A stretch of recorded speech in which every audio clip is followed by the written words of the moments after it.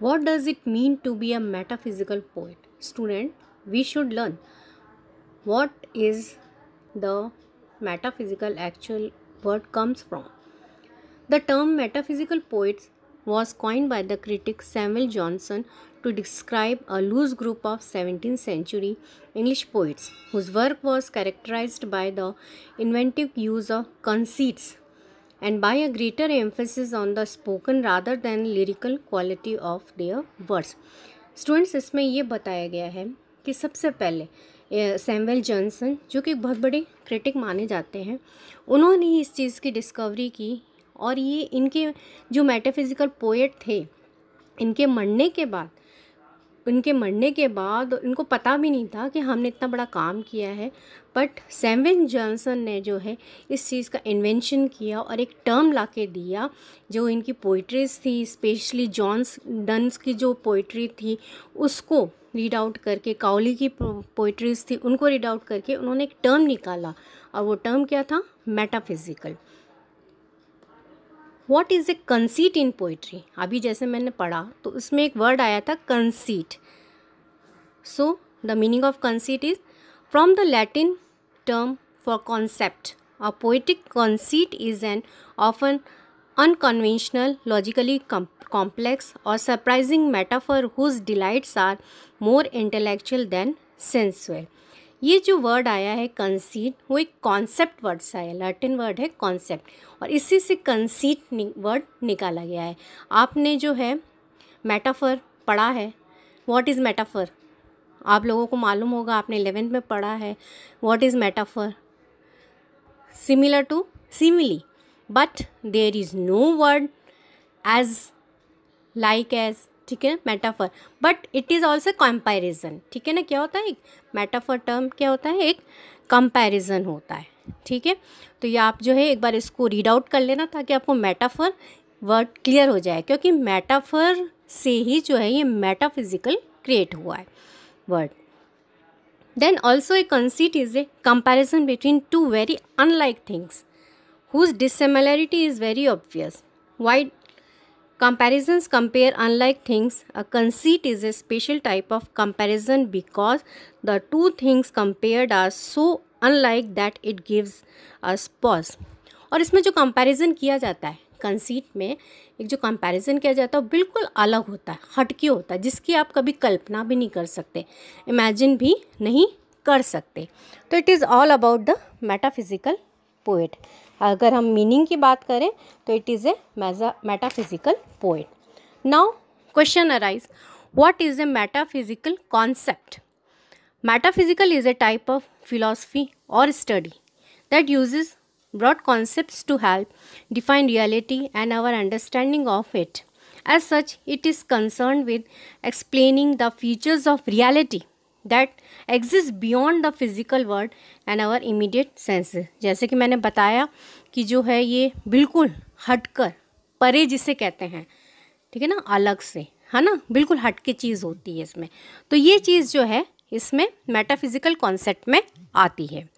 Now who is the father of metaphysical poetry जैसे भी मैंने आपको बताया स्टार्टिंग में who is the famous poet and known as the father of metaphysical poetry.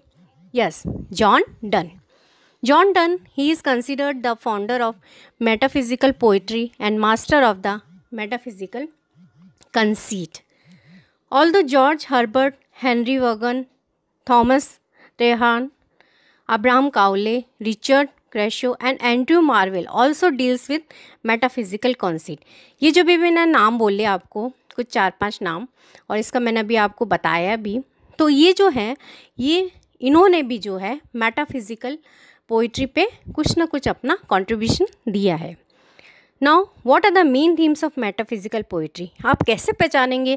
कोई poetry को देखें कि इसमें जो है मेटाफिज़िकल पोइट्री की थीम आ रही है।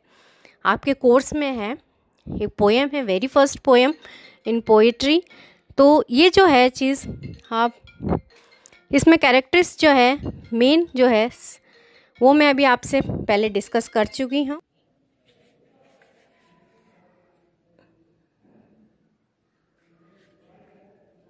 Yes, students, now we will discuss the general summary of metaphysical poetry. General summary आपने अभी पढ़ लिया कि जो है मेटाफिजिकल पोइट क्या होता है? पोइट्री कौन सी होती है? इसमें कौन सी इंक्लूड होती है? तो सबसे पहले अगर जनरल इन समरी वे में इसको देखें तो हम ये कह सकते हैं कि the time period was renaissance period renaissance period उस समय आया था और उस समय जगह था और ये जो है रिबर्थ ऑफ़ लर्निंग कहलाता है। वो पीरियड क्या कहलाता था? रिबर्थ ऑफ़ लर्निंग और उसमें जो पोएट्स है गेटिंग इवन मोर क्रिएटिव उस समय जो पोएट्स हैं, वो बहुत ज़्यादा क्रिएटिव हो गए थे। क्रिएटिव माने जाते हैं उस समय के पोइट और ये जो एज था, वो कौन सा एज था? लेट फिफ्टीन हंड्रेड सेंचुरी वाला और अर्ली सिक्सटीन हंड्रेड सेंचुरी वाला. तो इस तरह से इसके बाद जो है 1663 तक जो कौन आ गए थे? जॉन डन आ गए थे, जिन्होंने ये मेटाफिजिकल पोइट्री को इंट्रोड्यूस किया था. बट इनको खुद को पता नहीं था कि मैंने इतना बड़ा काम किया है. तो इस तरह का जो ये एज है, उस समय का एज क्या कहलाया? जब ये जॉन डन थे, लेट रेनिसेंस एज इसके बाद यदि हम देखा देखते हैं कि जो फिफ्टीन हंड्रेड जो सेंचुरी थी, वो एलिजाबेथन एज कहलाता है। उस समय क्या कहलाता था? एलिजाबेथन एज कहलाता था। और अर्ली सिक्सटीन हंड्रेड जो सेंचुरी का डेज़ कहलाता था, वो जैकोबियन एज कहलाता था। क्या? जैकोबियन एज कहलाता था। तो जैसे हमने बताया metaphysical poet it is a combination of two words two words Latin word metaphysica से ये शब्द आया है। मेटाफिजिका से ये शब्द आया है। मेटा मीन्स बियॉन्ड ठीक है मेटा वर्ड का अगर हम अर्थ लें मीनिंग लें देन इट इज़ बियॉन्ड और फ़िज़िकल क्योंकि हम ये देख रहे हैं कि मेटाफिजिकल टू वर्ड से मिलके बना है मेटा एंड फ़िज़िकल फ़िज़िकल नहीं द फ़िज़िकल वर्ल्ड तो इस तरह से बियॉन्ड यानी फ़िज़िकल वर्ल्ड से हटकर जो टर्म निकल के आया है, वो क्या है? It is a combination of metaphysical word और ये टर्म सबसे पहले जो किसने इन्वेंट किया था? सैमुअल जॉनसन ने इन एटीन सेंचुरी में. Now we will discuss the characteristics of metaphysical poetry characteristics में first is based on themes यानी जो भी मेटाफिजिकल पोइट्री होती है, उसकी खासियत होती है कि उनमें कुछ थीम्स मिलेगी आपको specially related to religious and spiritual ठीक है? तो दो तरह की मेन होती है इसमें, एक रिलीजियस एंड स्पिरिचुअल रिलीजियस आप जानते हैं क्या धर्म से संबंधित, ठीक है ना, जिसमें धार्मिकता को इंपॉर्टेंस दी जाती है और स्पिरिचुअल यानी अपनी स्पिरिट से रिलेटेड ठीक है सेल्फ से related second is as the mixture of sensual and spiritual experience example canonization. It is a poem written by John donne और इनकी खासियत ही कैनलाइजेशन आप में भी पॉसिबल अगर लिटरेचर को आप लोग आगे सब्जेक्ट रखते हैं तो आपके हर क्लासेस में ये पोएम आपको मिल सकती है। तो ये कॉन्सेप्ट आपके उस समय और अच्छे से क्लियर हो सकता है इससे। Then third it is the fusion of passionate feelings and logical arguments ठीक है? यानी आप इससे कुछ लॉजिकल आर्ग्यूमेंट्स को भी डिस्कस कर सकते हैं। एक जो फीलिंग पैशनेट होती है पैशनेट से मतलब किसी से बहुत ज़्यादा असीम लव कह सकते हैं फिक्शन कह सकते हैं, ठीक है? तो उससे रिलेटेड जो है, इनकी ये पोएम्स हो सकती है। इसका भी एक एग्ज़ाम्पल है best example is canonization okay number four characteristics is dramatic manner and direct tone of speech यानी इसमें जो जो भी दिया हुआ होता है, जो एक्सप्लेन किया जाता है, वो it is in dramatic manner ठीक है, एक ड्रामेटिक में व्यवहार की तरह होता है और इसमें टोन ऑफ़ स्पीच जो है, वो डायरेक्टली होता है।